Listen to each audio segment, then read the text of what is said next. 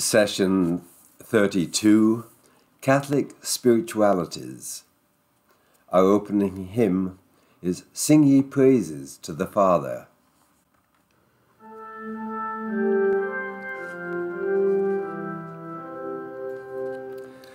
Sing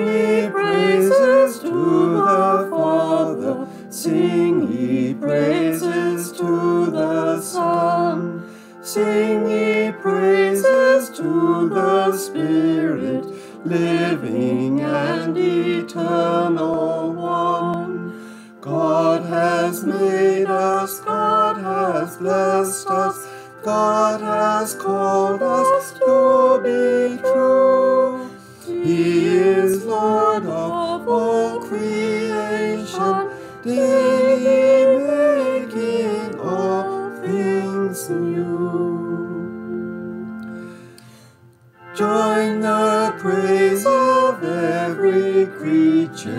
sing with singing birds at dawn. When the stars shine forth at nightfall, hear their heavenly antiphon.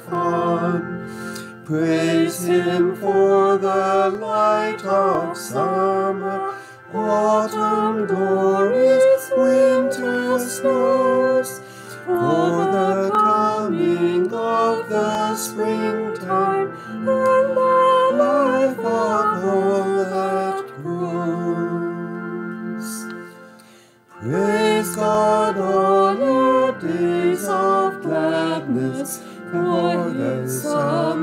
to rejoice. Praise Him in our time of sadness, for the comfort of His voice. God our Father, strong and loving, Christ our Savior, be thy Lord. Living God, Creator, Spirit,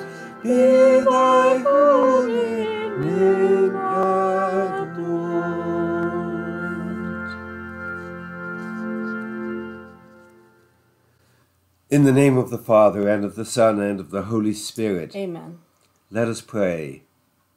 God our Father, look upon us with love. You redeemed us and made us your children in Christ. Give us true freedom and bring us to the inheritance you promised through our Lord Jesus Christ, your Son, who lives and reigns with you in the unity of the Holy Spirit, God, for ever and ever. Amen. The Lord be with you. And with your spirit. A reading from the Holy Gospel according to John. Glory to you, O Lord. Jesus said, Do not let your hearts be troubled. Have faith in God and faith in me. In my Father's house there are many dwelling places. Otherwise, how could I have told you that I am going to prepare a place for you? I am indeed going to prepare a place for you. And then I shall come back and take you with me, that where I am, you also may be. You know the way that leads where I go. Lord, Thomas said, we do not know where you are going. How can we know the way? Jesus told him, I am the way, the truth, and the life. No one comes to the Father but through me. The Gospel of the Lord. Praise to you, Lord Jesus Christ. I love this passage of the Gospel. I used it for my parents' funerals, reminding us that where Christ is, is the way, the truth, and the life. Today's subject matter is Catholic spiritualities. One of the first things we notice about people is how different we all are. As nationalities, as races, but as individuals. So, what does the Church teach about Catholic spiritualities? and the ways to come to the Father through Christ. In the communion of the saints, many and varied spiritualities developed throughout the history of the Church. For example, some holy persons have handed on their personal charisms or gifts, like the spirit of Elijah, so that their followers, uh, to Elisha and John the Baptist, so that their followers may have a share in this spirit. A distinct spirituality can also arise in response to specific to specific needs at certain points in history, such as the need for effective preaching perceived by St. Dominic. These different schools of Christian spirituality share in the Church's living tradition of prayer and are essential guides for the faithful. In their rich diversity, they are refractions or dispersions of the one pure light of the Holy Spirit, just as a prism breaks up or disperses the many colors in one ray of white light. Catholic spiritualities. Over the years, in the Church, Many different schools of Christian spirituality have developed over the centuries. In their rich diversity, they all manifest the one pure light of the Holy Spirit.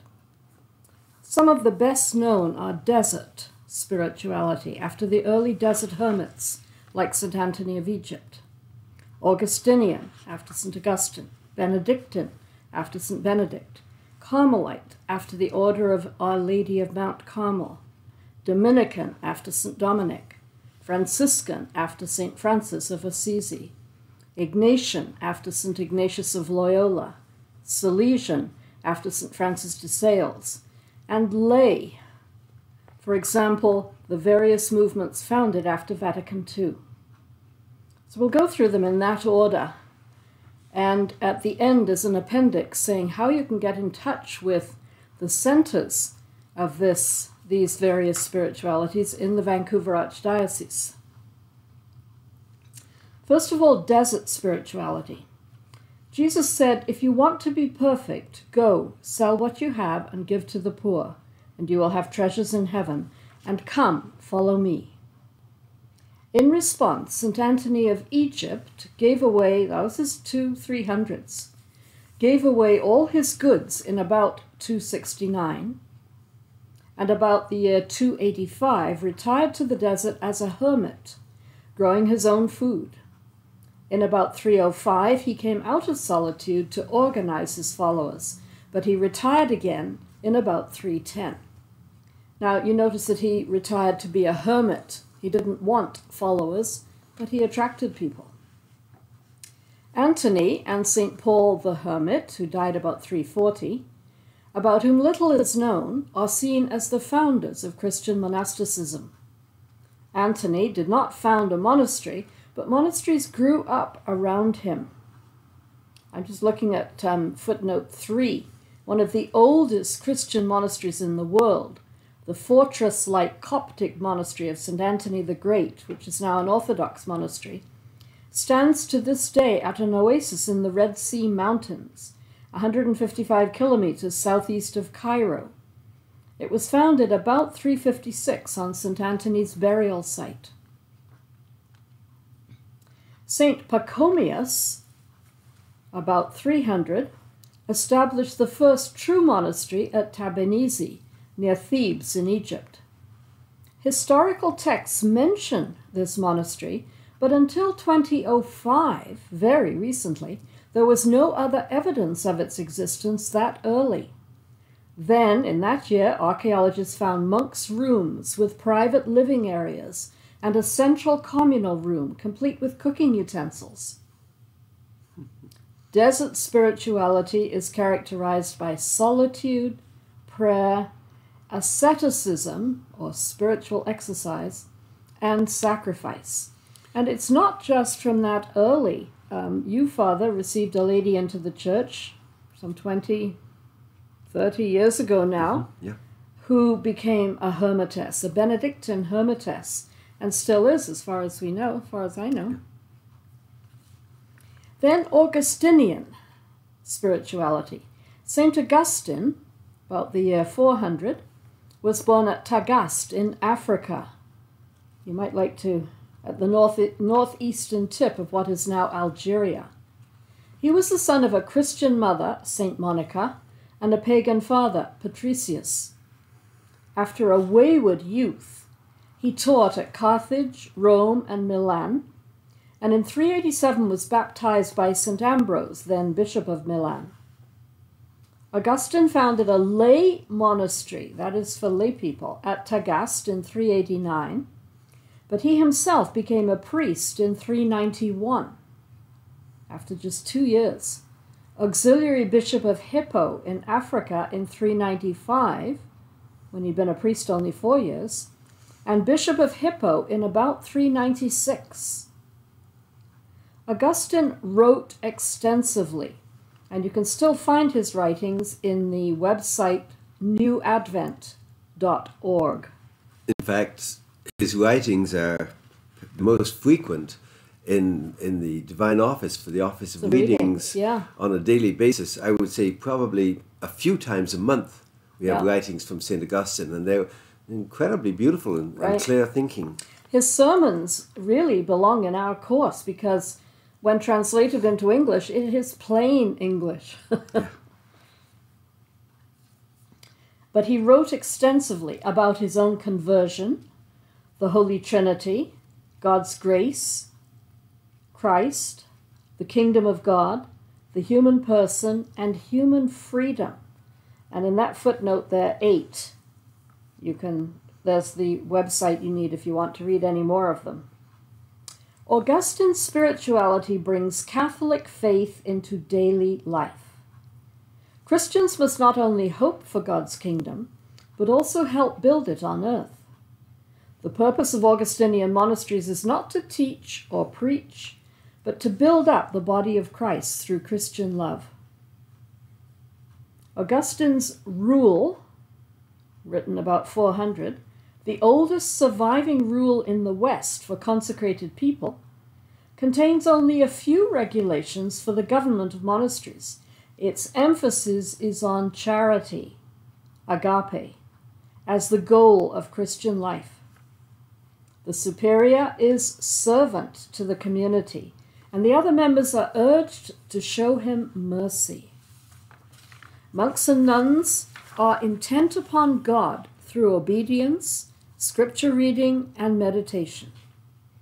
They strive to imitate the first Christian communities, where there was one heart and one mind, and everything was held in common and shared according to need. Various religious orders follow Augustine's rule. First orders, so called, for consecrated men, second orders for consecrated women, and third orders for lay people. The foremost Augustinian saint, after Augustine, of course, is Monica, Augustine's mother, patroness of wives and mothers, whose decades of prayer helped convert her husband and her son. Then Benedictine spirituality.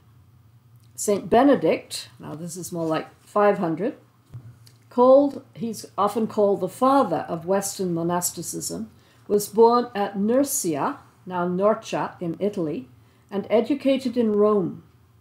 About 500, he retired to a grave at Subiaco, where he lived as a hermit. A cave, not a grave. Sorry, What did I say? a grave. Did I say a grave? Yes. He retired to a cave at Subiaco, where he lived as a hermit. I went to the cave site of um, at Subiaco when I was a seminarian in Rome, but I went in February when the weather was about 32 degrees Fahrenheit, just at the freezing point, sleet, cold, miserable, and that's the ideal time to see it because we you know, busloads of people tend to go in the summer Yes. when the weather is nice, and you can think, ah, I could like to live out here. This would be very nice. He must have been cold and hungry and wet all the time in the winter, and it's not an easy life. It, it was a real revelation to see it at that in that time of year. Anyway, again, other people joined him and he organized them into monasteries. About 525, he and a few others moved to Monte Cassino, Mount Cassino, where he composed his Rule. He's buried there with his sister, Saint Scholastica. Now, as you may know, we have a Dominican, um, yes, no, sorry, Benedictine monastery in Mission, about 60 kilometers away from Vancouver. And the monk there who has done such marvelous, beautiful artwork for the monastery has just died at the end of last year, the very end of last year. But um, you can't, no, not that one, Father, the St. Benedict one. You can um, see his artwork, some of it, which is not in the monastery itself, or you can actually get pictures of it. This is one that I have on my wall. I hope you can see it. It's a young Saint Benedict who flung himself into a thorn bush to escape temptation, rose above his temptation, and became abbot of the monastery. Um, I I can't read it properly. Somewhere it says on here Monte Cassino, here Subiaco, and here in the corner is a very small replica of the bell tower in Mission. Well worth seeing. I'm sure you could probably find a, a copy of this online. It's very lovely. Father Dunstan was a world famous artist. There's more detail on, on the back of the. Uh, Yeah, I Um, don't think it's readable though. no. But if you if you Google Dunstan Massey, M A S S E Y, I'm sure you'll see many of not yet many of his artwork, much of his artwork online. Benedictine life is characterized by obedience, self-denial, moderation, and good order, and life in common, with goods shared according to need. In Benedict's, um, the, the lady we spoke of who became a hermitess, what first of all joined the Benedictines. And she said to me once, she had been a businesswoman in in West Vancouver. And she said, in business, you have a job to do, and you have to do it no matter how long it takes. She said, one of the most difficult things for me in Benedictine life was good order. For an hour, you are to work on this. Then you stop. The bell rings and you do something else. You don't keep going on the job. I sometimes remind my students, because I teach math there two days a week, and sometimes the bell goes and one of the students is still working on a math problem and he stands up for the prayer, but he's still working on the math problem, and you say, In Benedictine life, you stop when the bell goes. It's an Now, ordered now it's life. time for prayer, even Yeah. though you were doing something else, Yeah, which may have been good. Yeah. Yeah. In Benedict's rule, God is a judge who protects the weak from tyranny. Abbots, who are elected for life by the monks, are warned that they will answer at the last judgment for any abuse of their office. Benedict sees God in many places, in the liturgy particularly, the divine office and the Mass. Benedictines try never to let carelessness, such as tardiness, disrupt the liturgy. Um, although it's a it's a monastery for monks, they do um, invite the public to their ten o'clock mass on Sunday morning. If you do go there, don't be late, but you'll also notice how reverently the mass is said. It's beautiful, yeah. No chatting in church before or after. Benedict sees God in the abbot, through whom the monks perceive God's will. The abbot consults the whole community on important matters, but only he can call a meeting, set the agenda, hear the testimony or evidence, and make the final decision. They particularly see God in guests, whom they treat as Christ. Hospitality is peculiarly Benedictine, is a peculiarly Benedictine virtue, and the guest master has an important role. So you'll notice as you leave the main road, as you go onto the Abbey property, guests are welcome. And people can go there for private retreats, public retreats, of course, if you book them ahead of time. But when you do go there, the guest master and one or more of the other monks will serve you at meal times. Hospitality is a particularly Benedictine virtue. They also see God in the sick and in the youngest monks, for God often reveals what is better to the younger, the rule says. To Benedict, everything in our natural lives is important in our supernatural lives. For example, tools are handled carefully by the workers and inventoried by the superiors. Waiters and readers at meals are blessed during the Liturgy of the Hours as they begin and end their week of service. Benedictines often spend their lives with the same people, so they become familiar with their faults. The solution to problems is not change of place or companions, Benedict says, but patience, which he associates with Christ's passion. In fact, the two words come from the same base in Latin. Benedictine life includes Lectio Divina, literally divine reading, praying God's word through Lectio, reading, Meditatio, reflection, oratio, praying, and contemplatio, silently listening.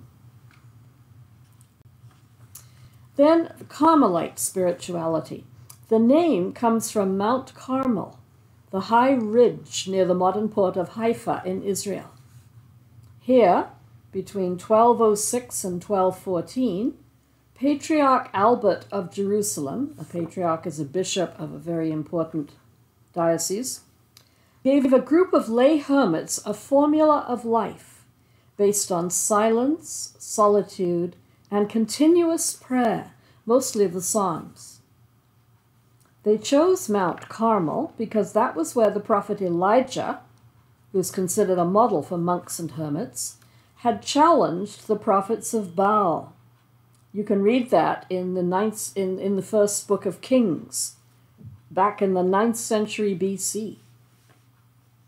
However, the chapel of the Carmelites was dedicated to Mary, and by the middle of the 13th century they were called Brothers of the Blessed Virgin Mary of Mount Carmel.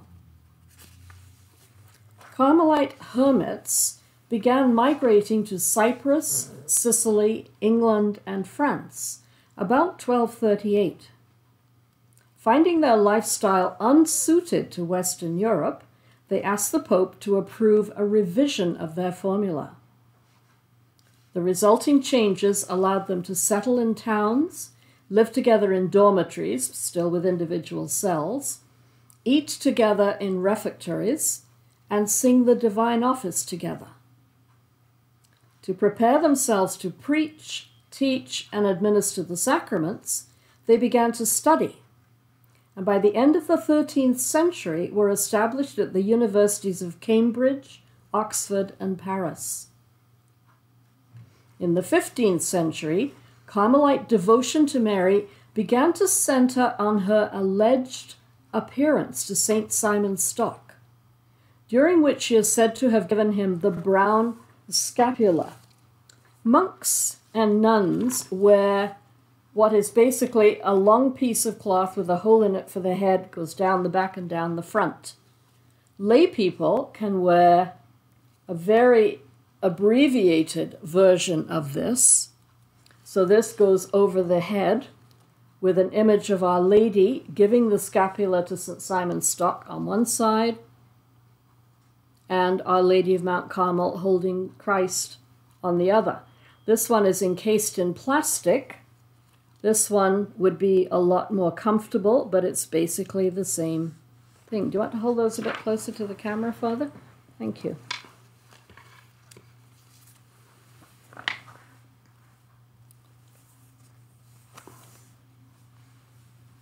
So it's just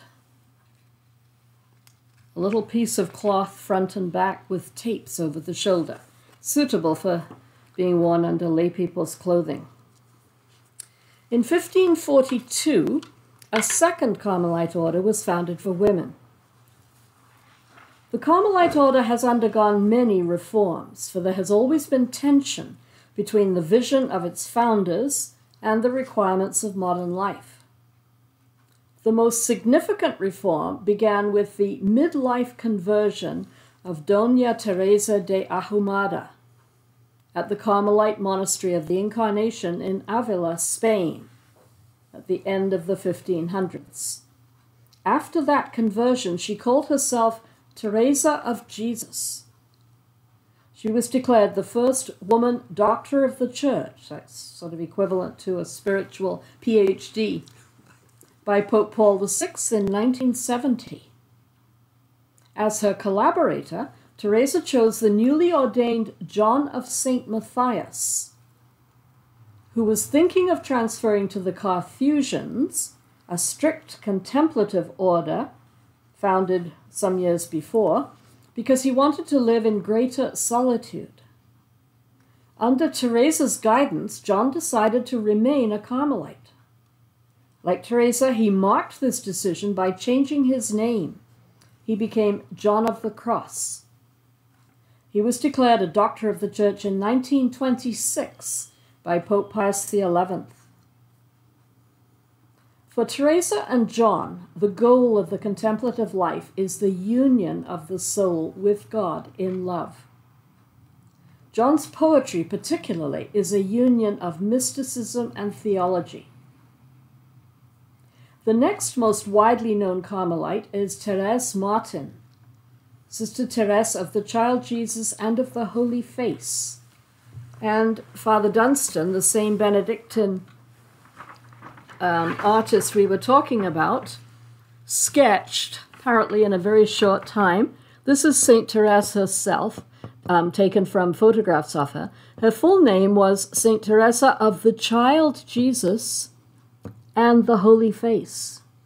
And Father Dunstan has given the child Jesus the appearance of Therese as a child. It's very beautifully done. Um, I was given this by one of the monks at the abbey, Father Peter, because um, Saint Therese um, is a very important saint in our family. She lived a little way of trust and love that went to the heart of gospel simplicity. Now, she was canonized in the early 1920s when my parents were in elementary school. When they met in 1948, they discovered that they both had the same devotion to St. Therese and her little way. So um, I'm the oldest of their eight children. They gave me Therese, spelt the French way, as my second name. They also chose the names of St. Therese's sisters, many of whom also became Carmelite nuns, for the names of my sisters. So I have a sister whose baptismal name is Marie Céline, she is now Sister Marie Therese in the Poor Clares in Mission. I have a Sister Marie Louise and another Marie Leonie, all taken from. So when St. Teresa's parents were canonized, it was a big event for our family.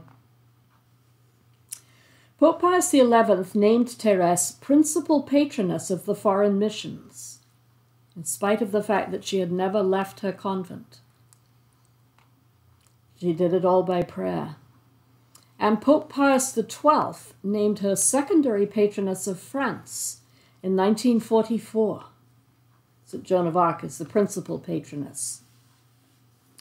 The best known 20th century Carmelites are St. Elizabeth of the Trinity and St. Edith Stein, a Jew who became Sister Teresa Benedicta of the Cross and died at Auschwitz and Blessed Titus Brandsma, a journalist and a professor at a university in Holland, who died at Dachau. Then the Dominican spirituality. The order of preachers. Maybe just before we pass on from the Carmelites, just to mention that we have them here in at St Edmund's Parish. We'll also be mentioning this later, but also just east of Mission, they have a house Yeah. of spirituality, Yeah. Then Francis, no, Dom- Dominican. I've lost my place. Dominican spirituality. Their proper name is the Order of Preachers, but it was founded by St. Dominic Guzman, so it's usually called the Dominicans. It includes a first order for consecrated men, a second order for consecrated women, and a third order for lay people. Dominic was born into an ancient family in Caleruega, Spain. During the famine of 1191, he sold all his goods, including his books, to help the poor. Dominic was ordained a priest in 1199. In 1206, on his way to Denmark through Languedoc, France, with his bishop, Diego d'Azevedo, he heard papal envoys, delegates from the Pope, in Montpellier, France, denouncing the Albigensian heresy, which held that the world was intrinsically evil. At Dominic and Diego's suggestion, the envoys dismissed their large retinues and began to exemplify poverty instead. At this time, only bishops had the right to preach. However, in a letter dated November 17, 1206, Pope Innocent III granted this right to Dominic, and from then on, Dominic signed himself Brother Dominic, preacher. For the Dominicans, you always see Dominican Father so and so or Sister so and so, OP, Order of Preachers. Right. After his bishop returned to Spain, Dominic remained in Languedoc as parish priest at Fanjeaux, near Prouille. In 1207, he founded a women's monastery there. He eventually settled with a few followers in Toulouse, in the south of France. In 1215, he attended the Fourth Lateran Council in Rome, because it was held in the Lateran Palace, where he won approval for an order of preachers who would live under Augustine's rule, but with supreme authority given to the vote of the monks instead of to the abbot. Dominic spent the rest of his life establishing friaries. Now, that word was used for the homes of monks who travel, often as beggars, instead of remaining in their monasteries. So, friars include Dominicans and Franciscans. He spent the rest of his life then establishing friaries in Italy, Spain, and France. In 1221, he set out for Hungary to preach to the pagans, but fell ill and had to return to Bologna, Italy, where he died and was buried. One of the marks of the Dominicans is that they usually wear a white habit with, with some black, but Yeah. a white habit. And uh, in fact, um, St. Pius the Fifth was, the Pope Pius the Fifth was a Dominican. And because since then, the popes have always worn white. Ah. The Dominican vocation is principally preaching. Accordingly, in their community, in their community life, sorry, accordingly, in their community, life, liturgy, contemplation, study, and poverty are at the service of preaching, which entails travel. For example, they chant the divine office succinctly. And for the manual labor of Benedictines, they substitute the study of Scripture and the art of preaching. Each monastery has a theological expert called a lector. Three Dominicans are doctors of the Church St. Albert the Great, who lived from 1200 to 1280, St. Thomas Aquinas, who lived from 1225 to 1274, and St. Catherine of Siena in the 1300s.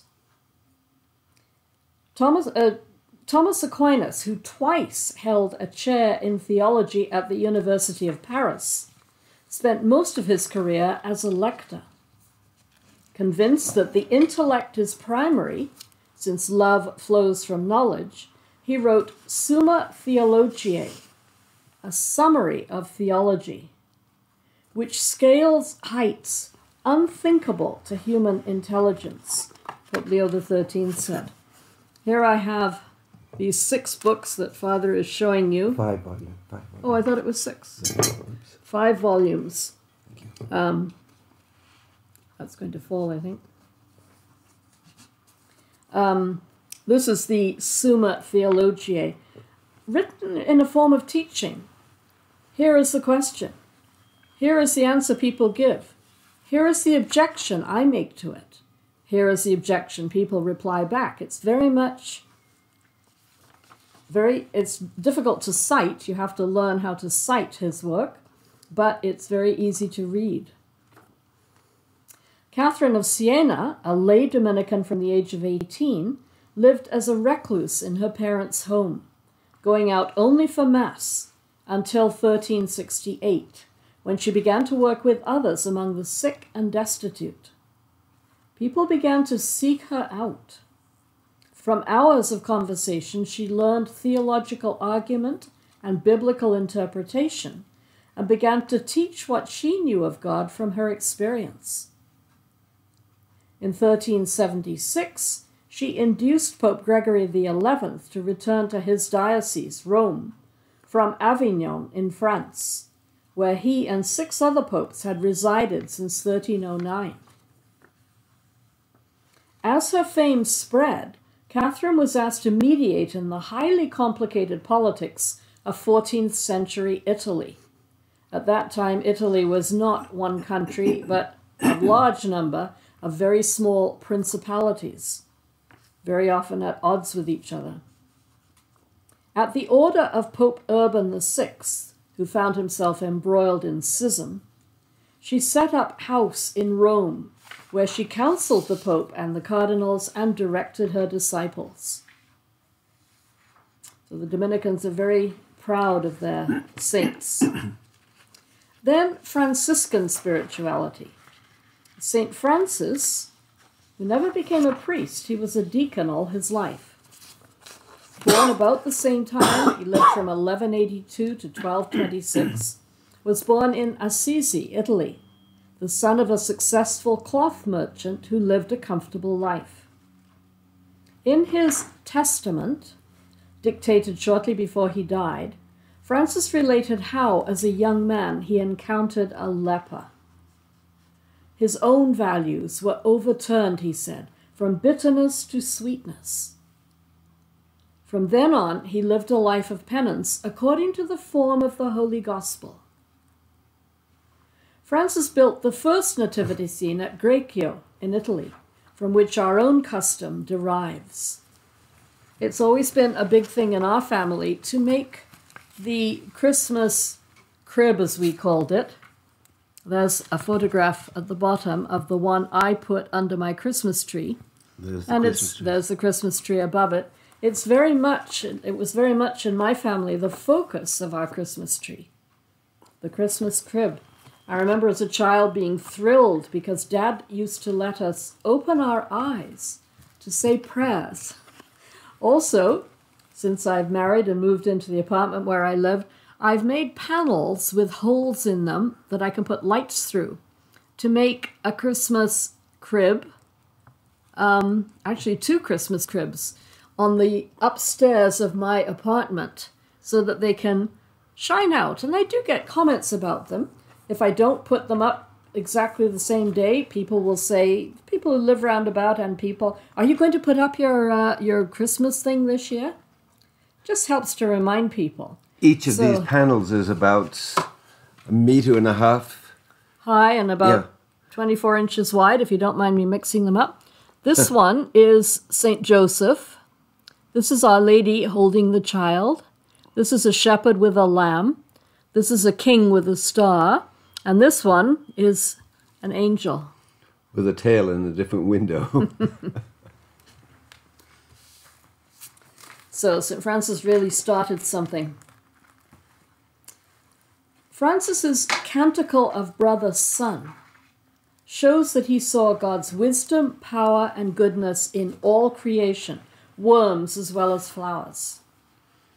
The opening hymn of today's, I was so struck by the uh, Is sing ye praises to the Father. No, but everything Yes. reflecting the goodness Everything, of God yeah. and singing his praises, whether it be the waters in, of the deep or the stars in the heavens or Mm-hmm. the birds flying. It's a beautiful hymn. Francis is said to be the man most like Christ, not only in his lifestyle, but also because he was given the stigmata, that is, the wounds of Christ, in his hands, feet, and side. Moved by his example, St. Clare of Assisi began a life of penance on Palm Sunday in 1212. She was received by the Franciscan brothers at the little church of St. Mary of the Angels, becoming the first Franciscan woman. Like Francis, Clare prized poverty. That's perhaps the keynote of the Franciscans. However, at the Fourth Lateran Council in 1215, the Church refused to recognize any new rules of consecrated life so she was forced to accept the rule of Benedict. However, at her request, Pope Innocent III confirmed her proposal of most high poverty, assuring her that no one can compel you to receive possessions. In Clare's own testament, probably written soon after her rule was approved by Pope Innocent IV in 1247, she stated that the Son of God never wished to abandon this holy poverty while he lived in the world, and that she wanted to imitate the God who was placed poor in the crib, lived poor in the world, and remained naked on the cross. Accordingly, Clare's sisters live on charity. The poor Clares in mission don't do anything to earn money they live on what people give them, and they never beg. In Clare's letters to St. Agnes of Bohemia, who founded a monastery of the Poor Sisters in 1234, Clare explained that by joining Christ in poverty, she embraced him as her spouse. Franciscan friars focus on Christ in the created world. The sisters focus on Christ crucified. The sisters often live in enclosure. They don't leave their convent except for emergencies. And that enclosure, far from locking out the world, concentrates their attention on Christ in the frail humanity of each sister and each person who comes to their door. There are several Franciscan communities of men and several communities of women, and they differ quite largely, all very much with these focal points. Yes. But for instance, we have the Poor Clare's mission. We also have the Franciscan Sisters of the Eucharist Yes. uh, that I often say Mass for, and their emphasis on uh, adoration of the Eucharist and preparation for Mass is, is, is beautiful to see. Yeah. Let's take a break at that point.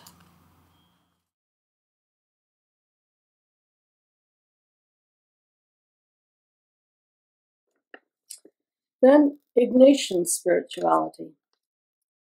This is very much at the time of the Reformation in Europe. St. Ignatius he was born in 1491 and lived till 1556. He was born into a noble family at Loyola, Spain. He began his adult life as courtier, gentleman, and soldier. However, in 1521, as he recovered from a severe leg wound at Pamplona, Spain, he read the lives of Christ and the saints and became a soldier of Christ instead. In 1534, he founded the Army like, that's how it's organized, Society of Jesus, the Jesuits, approved by Pope Paul III in 1540. For the rest of his life, besides his direct pastoral work, he organized a vast missionary network. The ones we call the Canadian Martyrs were all Jesuits, or at least the Catholics were. He undertook sensitive diplomatic tasks and established colleges, universities, and charitable institutions.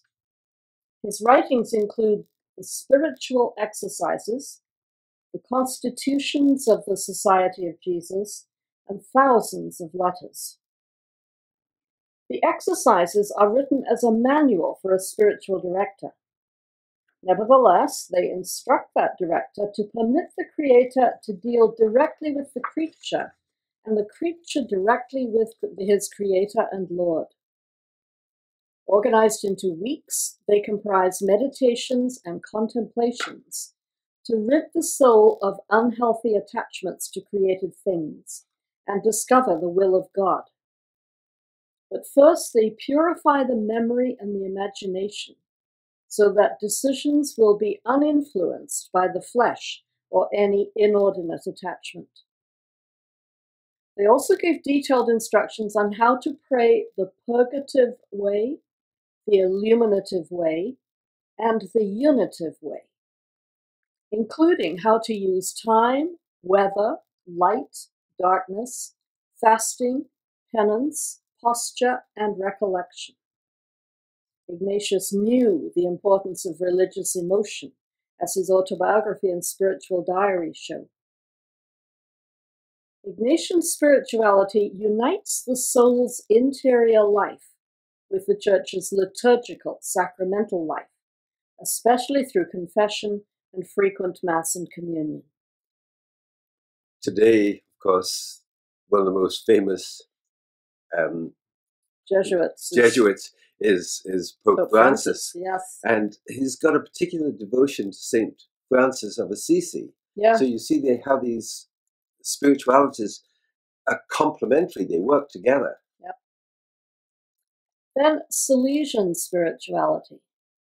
This is the spirituality of St. Francis de Sales and St. Jane Frances de Chantal. Again, about the time of the Reformation in Europe.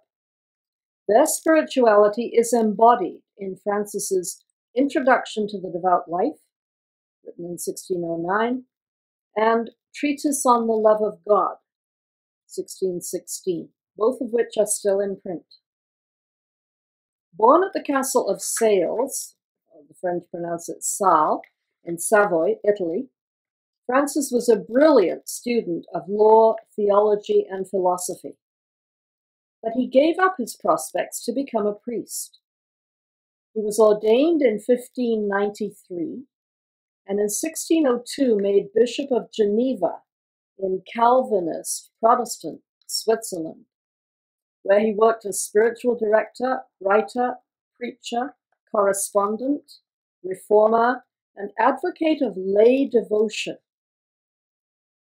He was declared a Doctor of the Church by Pope Pius IX in 1877 and made patron of the Catholic press by Pope Pius XI in 1923. When Father was finally, after years of being interim editor of the BC Catholic, when Archbishop Carney finally made him editor, he gave him a picture of St. Francis de Sales, which Father had in his office over his desk, and I suppose the present editor does too. Yes, I left it in, in the office for, uh, Yeah. for Paul Schratz, who's the current editor. Jane, born into a noble family in Dijon, France, married the Baron Christophe de Chantal in 1592. When her husband died in 1601, she made a vow of continence. In 1610, Francis and Jane co founded the religious community of the Visitation of Holy Mary, referring to Our Lady's visiting of her cousin Elizabeth right after she, himself, she herself had conceived Jesus. And they designed it for women unable to endure the severe asceticism of other religious orders.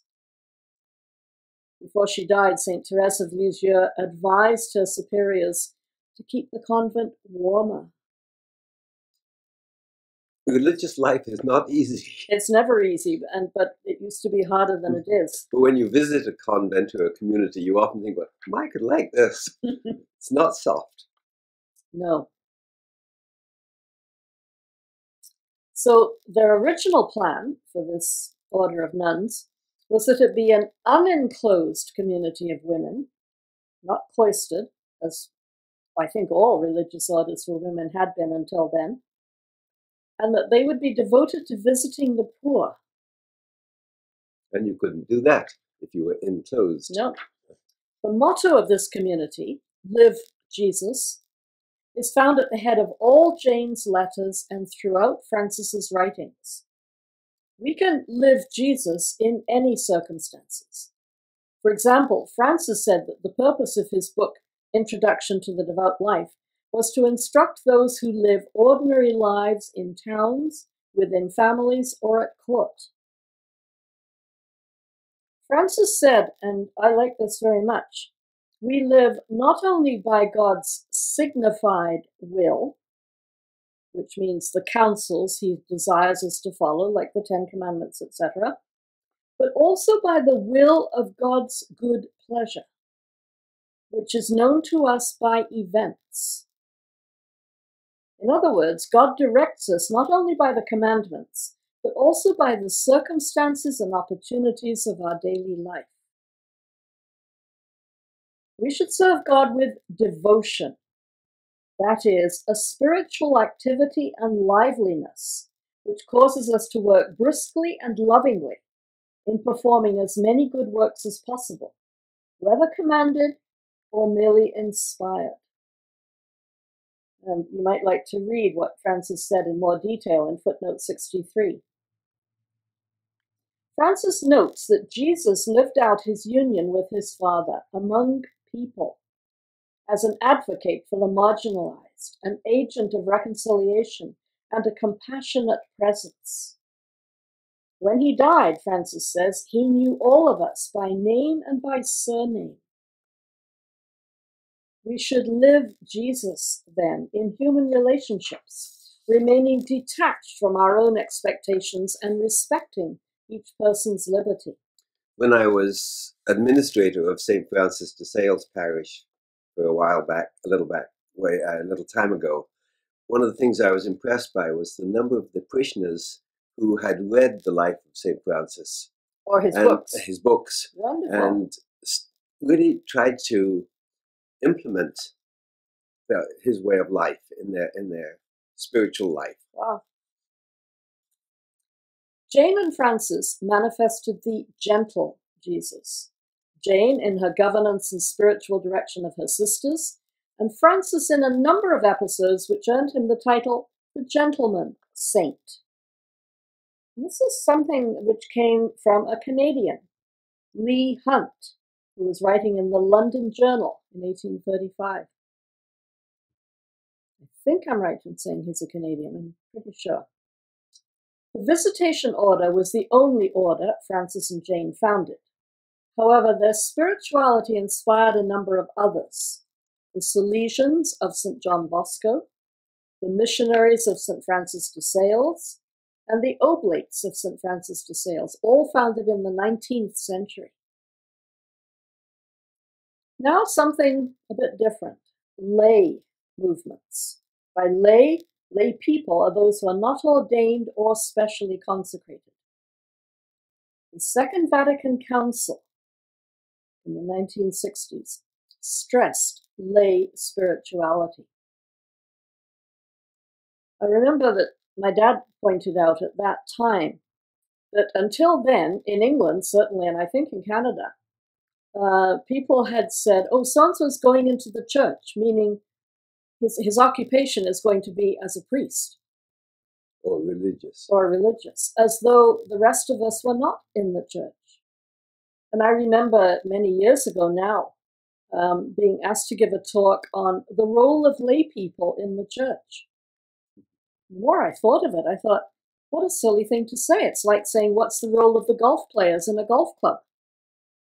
They are the golf club. We are the church. The church is for you, Church, for us. you are the servants of Yes. everybody Yeah. else. You are ordained to serve the people, God's people.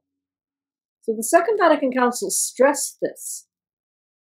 Calling the church the whole people of God, it said that through their baptism, lay people share in the priestly, prophetic, and royal office of Christ, and are called to the fullness of Christian life and the perfection of charity. In other words, holiness is not just for consecrated people. Lay people are not entitled to shirk their earthly responsibilities on the grounds that their eternal destiny is in heaven, the council said. Nor must they immerse themselves in earthly activities as if religion were nothing more than the fulfillment of acts of worship and the observance of a few moral obligations. Rather, lay people must imitate Christ, who worked as a craftsman, and carry out their earthly activities in such a way as to integrate human, domestic, professional, scientific, and technological enterprises with religious values. In fact, the Council said the effort to infuse a Christian spirit into the mentality, customs, laws, and structures of the community is so much the duty and responsibility of the laity that it can never be properly performed by others. As a result, the Council sparked a number of spiritual movements among lay Catholics. The Vatican has formally approved about 120 of them. So we can only mention a few. But in, in addition, I would like, before we go into the specific um, communities that have been approved, just the whole atmosphere of the Second Vatican Council in emphasizing the, the role of the laity, the position of the laity, the fact that the church is for the laity is, is, is beautiful. The Second Vatican Council is very important. So all we can do is mention a few that have impressed Father and me. And been related to this diocese particularly. Yes.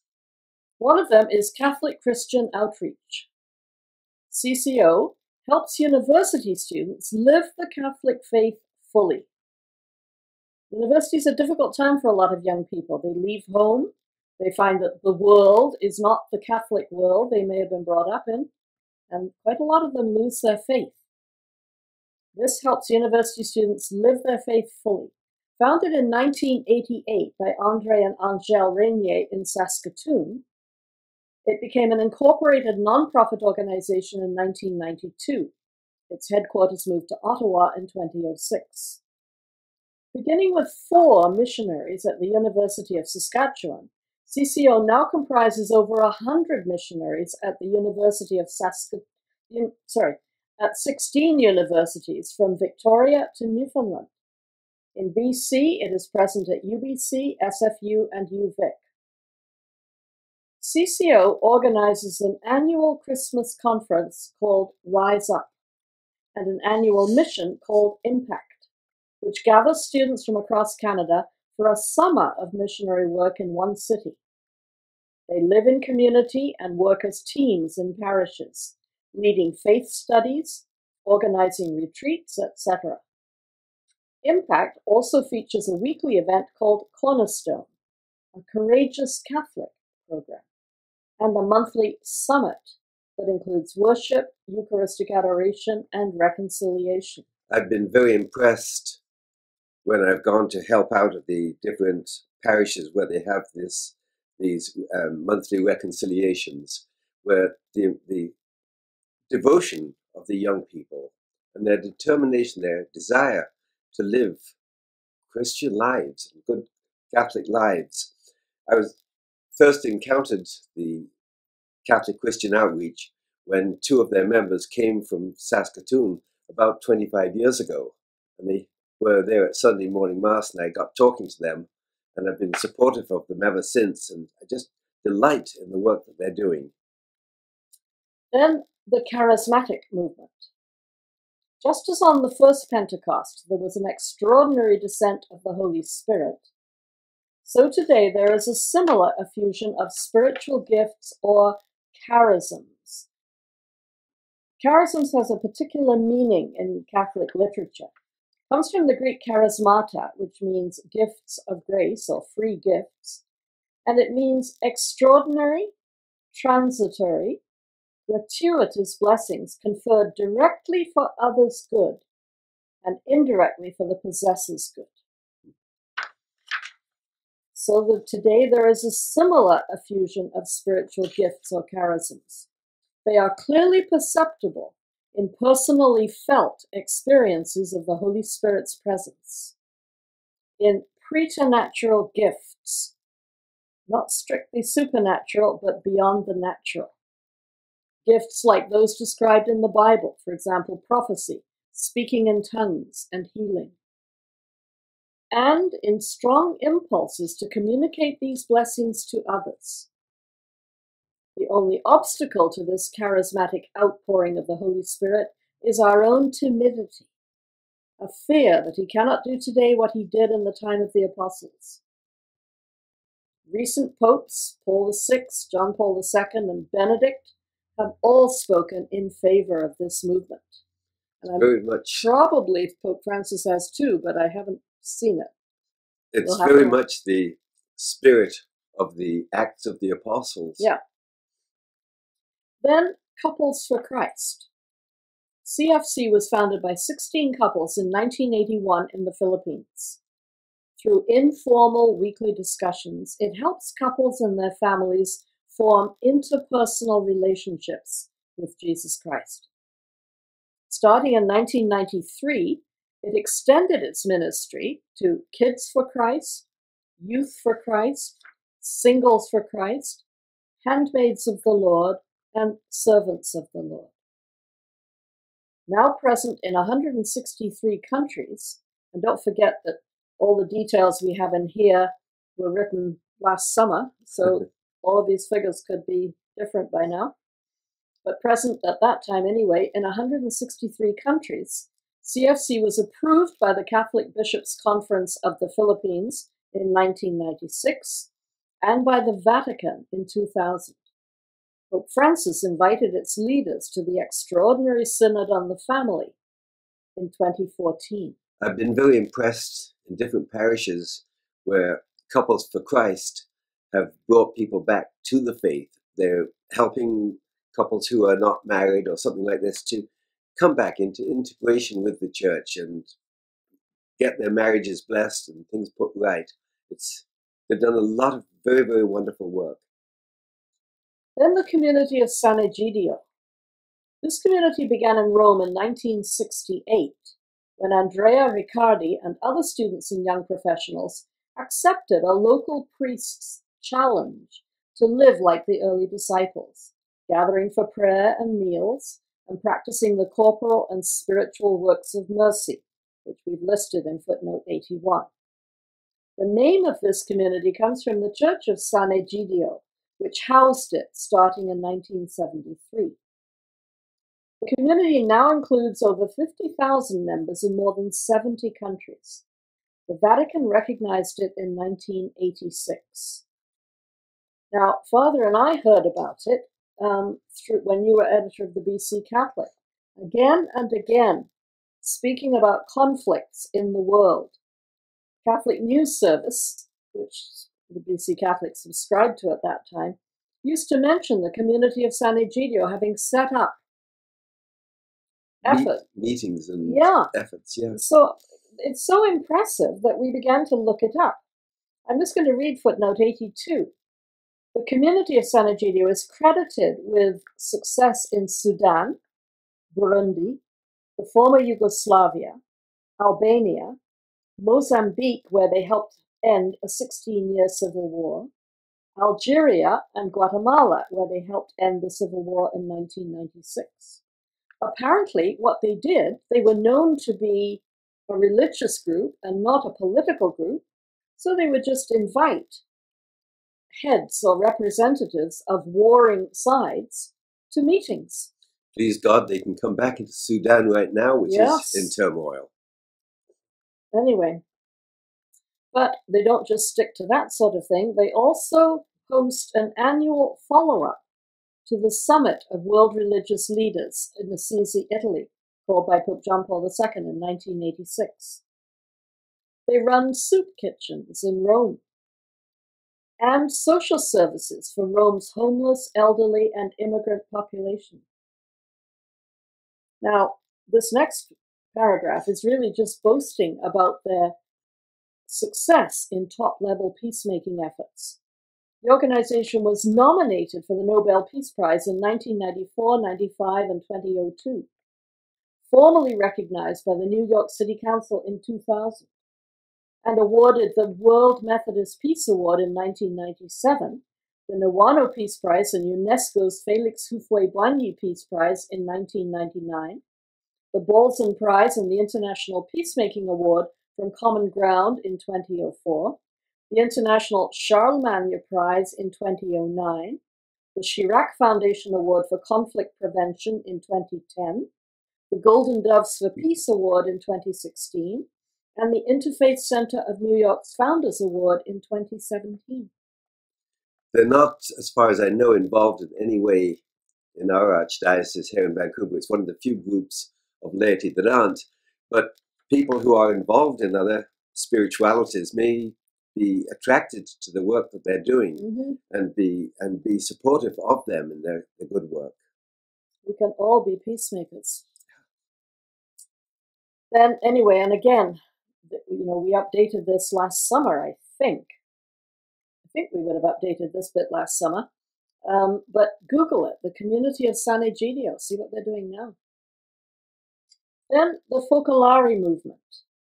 In 1943, Chiara Lubich, who died in 2008, and a few friends in Trent, Italy, founded the Focolare movement in order to focus their lives on the gospel. Focolare is Italian for hearth or fireplace. The movement now has over 140,000 committed members and 2.2 million associates in some 180 countries. It stresses obedience to the church and adherence to Focolare's statutes, approved by the Vatican in 1990. Almost 3,650 Focolarini, as they're called, have made promises of celibacy and live together in single sex houses. Another 2,180 married members actively share their community and prayer life and contribute to their support.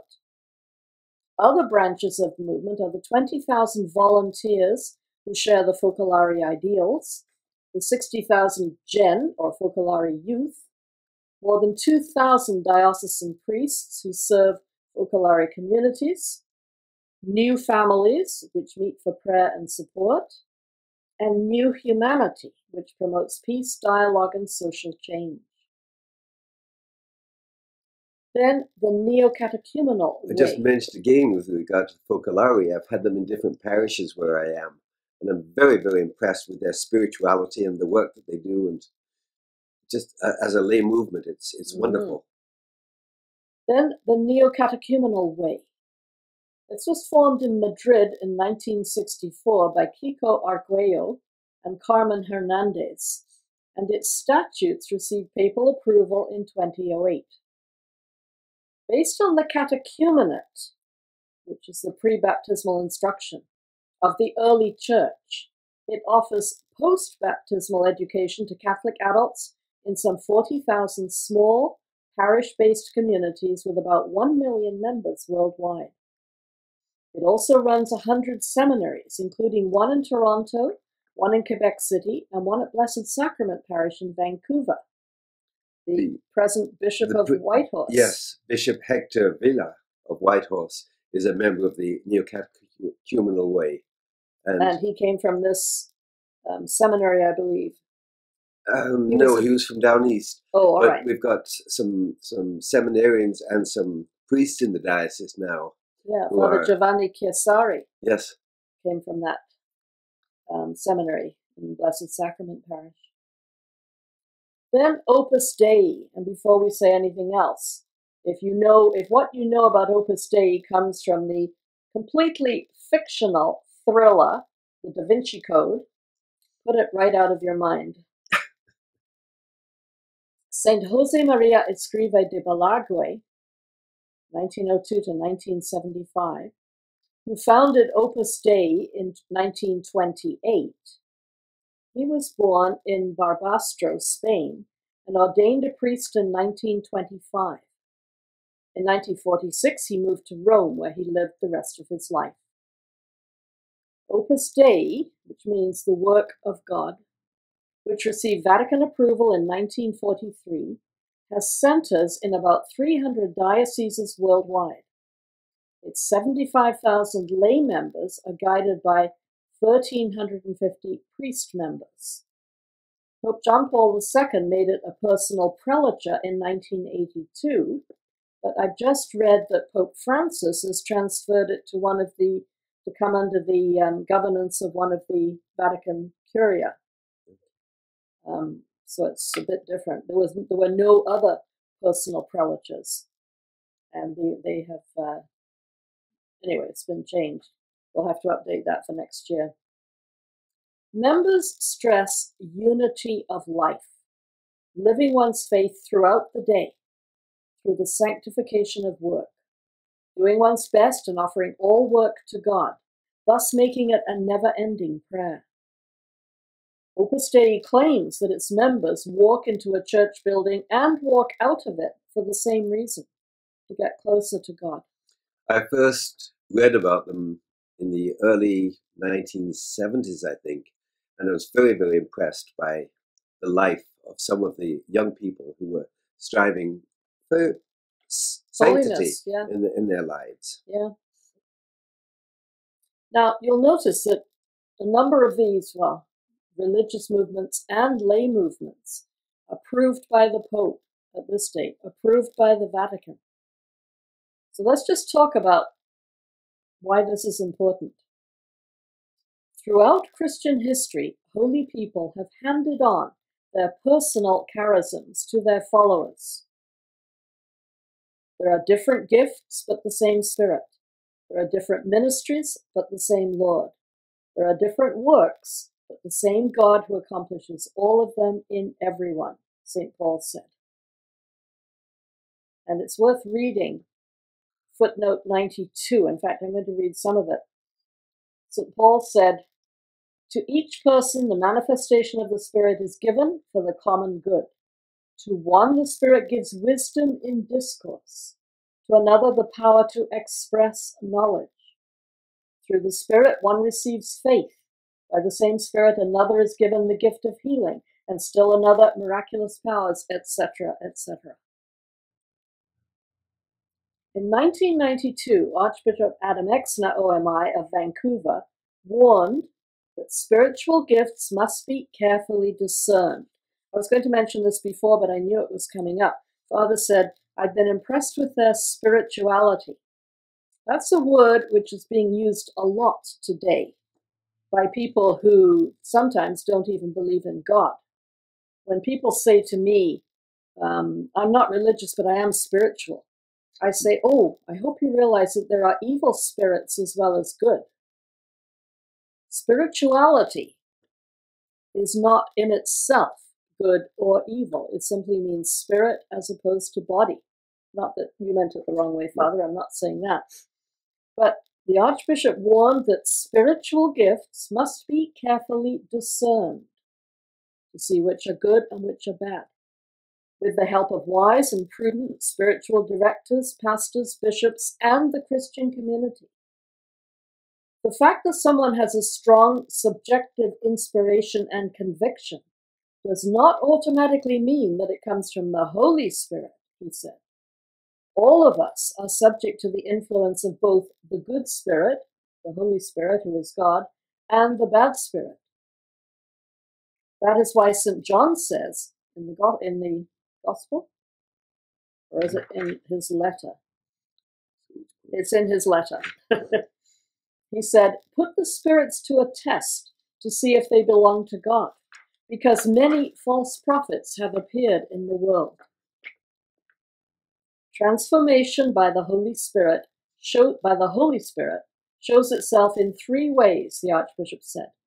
A deeper appropriation of the sacraments of baptism and confirmation, meaning a deeper integrating them into our lives as part of our own lives. A deeper appreciation of the sacraments of reconciliation and the Holy Eucharist, and a new zeal for evangelization. And these are all points that Bishop Exner stressed for us. Yep. Pope John Paul II said that the Spirit's gifts are to be accepted with thanksgiving. I'll let you read what Pope John Paul said about that in footnote 96. But judgment about their genuineness and their ordered use belongs to those who preside over the church. In fact, he said, the ability to make such judgments is itself a gift of the Holy Spirit, given in various degrees to those who are ordained bishops, priests, and deacons. One example of such a judgment is the 52 page document published February 3, 2003, by a working group on new religious movements from two of the pontifical councils. It was entitled Jesus Christ, the Bearer of the Water of Life, a Christian reflection on the New Age. That judgment shows clearly that New Age is not Catholic. Although we talk about this in under Catholic spiritualities, it's to emphasize the But fact that not. it is not. right? Yeah. The word spirituality doesn't mean necessarily something good. The devil is a spirit. So let's just sort of warn people again about this. New Age leads people astray. Today, there is great interest in the importance of man's spiritual dimension and its integration with the whole of life, the search for life's meaning, the link between human beings and the rest of creation, the desire for personal and social transformation, and the rejection of a rationalistic and materialistic view of humanity. That's a quotation from that document. There is great interest in spiritual things. However, instead of turning to the Catholic Church for the truth, people are turning to ancient Gnostic ideas under the guise of the New Age. We cannot delude ourselves that this will lead toward a renewal of religion. That's from Pope John Paul. Gnosticism, which he's denouncing, is the theory of salvation by knowledge. I know something you don't know, so therefore I am going to be saved. As early as the first century, Gnostics, disciples of the pre Christian pantheistic sects, claimed to know the mysteries of the universe. Gnosticism has sometimes taken the form of a philosophical movement, but more often the characteristics of a religion or para religion in conflict with all that is essentially Christian. For example, Gnosticism rejects divine revelation and denies that the church has the authority to interpret it. The desire, in, in, instead, in fact, the very word gnosis comes or is related to the Greek word knowledge. The desire for God is written in our hearts. God has made us for himself, and our heart is restless until it rests in him. In the, that's from St. Augustine. In the West, for a few centuries, Satan has tried to calm this restlessness with material goods and the power of science. But for many people, he has failed. That is why today we see a resurgence of spiritual restlessness and hunger. And Satan is ready with a new untruth, better suited to us today. It even borrows language from Christianity, but its meaning is profoundly untrue. Now, as far back as when it was, gosh, I've forgotten when it was written, but C.S. Lewis died in 1963, so it was well before then. I'm just going to quote uh, footnote 113, which comes in Lewis's book Perelandra. Um, Ransom is a practicing Christian. Weston, shortly after this conversation, invites the devil to possess him. A thing might be a spirit and not good for you, Ransom warns. And Weston says, I thought you religious people were all out for spirituality. Don't you worship God because he is a spirit? Good heavens, no, Ransom replies. There's nothing specially fine about simply being a spirit. The devil is a spirit. It's a So good you- warning. You do have to watch this word spirituality. And if you listen, as I often do, to, to the news, you'll see that the secular media is very, very imbued Yep. with with this, um, This idea of This- spirituality. yeah, this um, whole attitude towards it. And as long as they're talking the spirit, they think they're talking about something holy. Right. And I, and I think it, it's we've got to really be on our guard. Well, I heard somebody say this morning at church. Um, I assume that spirituality means faith in God. I thought, no, it doesn't. Not necessarily. No, but a lot, a lot, a lot of people are in touch with the devils for their spirituality. Well, I, I can't judge any particular person, but you can't help seeing by what they say that it doesn't come from God. yes. In fact, I'm just going to mention this, talking about the, the gift that God has given the church, those who preside over the church, deacons, priests, and bishops, um, to help us discern the spirits. Many years ago now, we had somebody who came to our class. Um, and at the end of each class, she wanted to give us a sermon. Now, unfortunately, poor woman, she has such a strong accent that we couldn't tell what she was saying. But we did hear enough to got to understand from her that she was receiving these revelations from God. So we simply had to cut them off. We have not, these have not been discerned, these have not been checked by the competent authorities in the church. And we just had to say, we don't quote even canonized saints unless the catechism has quoted them. We stick to what the church calls public revelation, which we spoke about. Which talk was that in? We talked about public revelation. Oh, God's will. Yeah, some of the appendices there. Christ warned us false messiahs and false prophets will appear, performing signs and wonders so great as to mislead even the chosen, if that were possible, he said. Remember, I have told you all about it beforehand. Stick to the church. So, in conclusion, when the work which the Father gave the Son to do on earth was accomplished, the Holy Spirit was sent on the day of Pentecost in order that he might continuously sanctify the church, make it holy. At Pentecost, the Holy Spirit endowed the church with various hierarchic and charismatic gifts so that she might make disciples of all nations. To this day, it is through these gifts that the Holy Spirit directs the church. Accordingly, there are many dwelling places in the Father's house. That was something um, that came in the reading from the Gospel. In my Father's house, there are many dwelling places. If, if what did Christ say? If it were not if it so, not so, would I have told you that I went to prepare a place for you? These, th- this language comes from the Jewish wedding customs. The betrothal would take place, by which they became husband and wife, but they didn't live together. The husband would then go and prepare a place for his wife. And when it was ready, come to take her so that she could be where he was. And he's assuring us that there are many dwelling places in the Father's house. However, there is only one way there, namely Jesus. And as St. Thomas found, you don't have to know much about where you're going, you just have to know the way, which is Jesus. the way, The way, the, the truth, and, the life. No one comes to the Father except through him. I'm just looking to see if I missed reading something. I did miss it.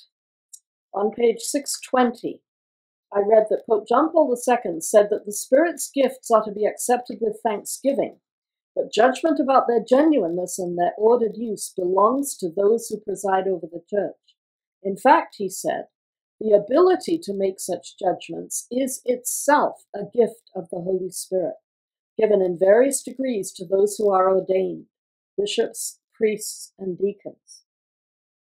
And footnote 98 is worth reading. The fact that we can trust the ordained leaders of the church is a gift from the Holy Spirit. Now, in the bibliography, we've put all the different writings of the saints we mentioned, which are still in print. And if anybody wants to get hold of them, we can help you get hold of them.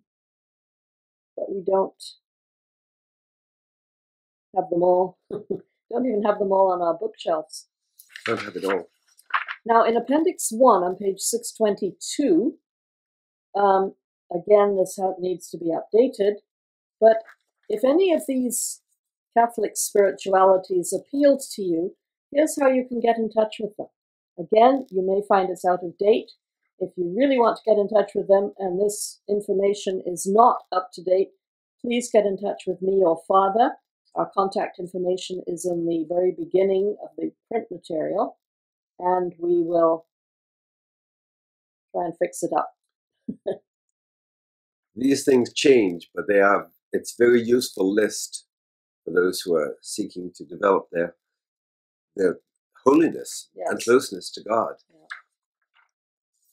So, so this coming week we'll conclude the um, Gospel of Saint John, chapter eleven to twenty-one. And you'll find that, that, as we heard in the beginning of the reading today, Jesus is referring to the Jewish wedding custom, as Maureen mentioned, and the preparation by the groom for his bride, for his wife, to take her to himself. In his 1947 encyclical, Mediator Dei, Pope Pius XII said that the church on earth, like the church in heaven, has many dwelling places. The Holy Spirit enlightens and guides souls to sanctity with various gifts. St. Teresa of Lisieux said, How different are the variety of ways through which the Holy, the Lord leads souls. Souls are more different than faces, St. Teresa points out. Next week, then, we will hear about one of these ways of spirituality, of coming to God, and that is which so many people engage in, that is through marriage and the family. In the meantime, may Almighty God bless you, the Father, and the Son, and the Holy Spirit. Amen. Thank you, Father. You're welcome.